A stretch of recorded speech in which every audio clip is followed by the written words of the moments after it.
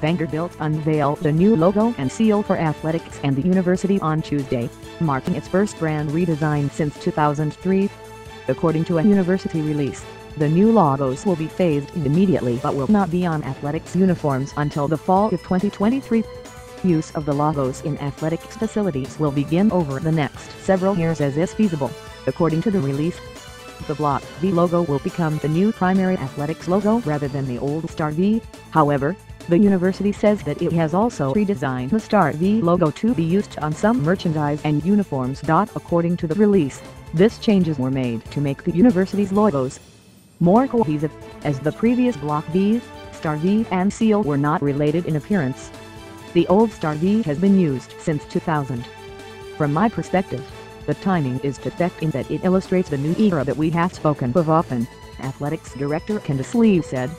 It's a new day, with new energy, alignment and momentum to match. It's another example of Vandy United in action. Vandy United is a fundraising campaign dedicated to updating the athletics facilities.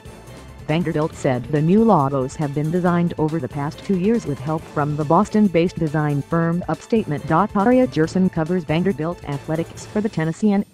Contact her at all great institutions have a clear sense of themselves as we prepare to celebrate our 150th anniversary next year, it's time for Vanderbilt to sharpen our expression of who we are and what makes us unique.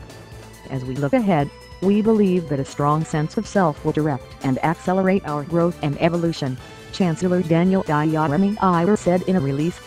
This new visual identity is designed to help build and share the pride in our collaborative community and to bring greater visibility to our university.